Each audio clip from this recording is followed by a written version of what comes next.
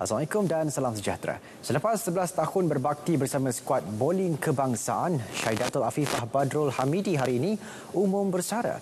Menyifatkan bersaraannya adalah keputusan yang berat namun demi masa depan dan karier yang lebih terjamin, Afifah akur untuk berehat dari sukan yang menjadi cara kakinya sejak berusia 9 tahun.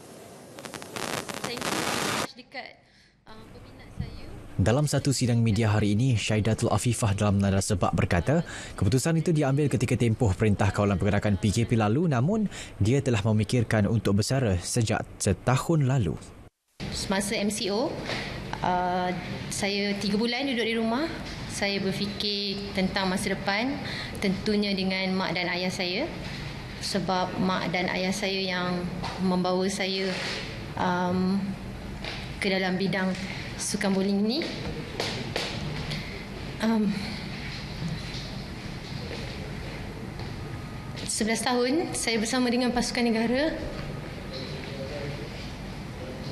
Sebenarnya nampak keputusan ini senang tapi sebenarnya keputusan ini tak senang um, untuk saya buat. Tapi untuk memikirkan tentang masa depan saya um, saya mengambil keputusan untuk bersara uh, dalam usia 29 tahun Afifah turut mengakui pernah menerima beberapa tawaran kerja sejak bersama skuad kebangsaan namun terpaksa menolak kerana terikat dengan latihan dan kejohanan. Dengan pengumuman persaraan, gadis berasal dari Ipoh itu boleh fokus merencana masa depannya dengan memilih karier yang diminati dan memberi bayangan akan berkecimpung dalam bidang penyiaran selepas ini. Antara kenangan paling manis bersama skuad kebangsaan adalah meraih emas dalam acara trio di Sukan Asia dan di kejohanan dunia Las Vegas. Saya menang kejohanan dunia dekat Las Vegas. Uh, feeling tu sebab kita dekat kejohanan yang tertinggi untuk bowling. Kejohanan bowling dunia uh, adalah satu yang paling tinggi lah. So bila saya menang emas masa tu uh, saya dan pasukan pun tak percaya.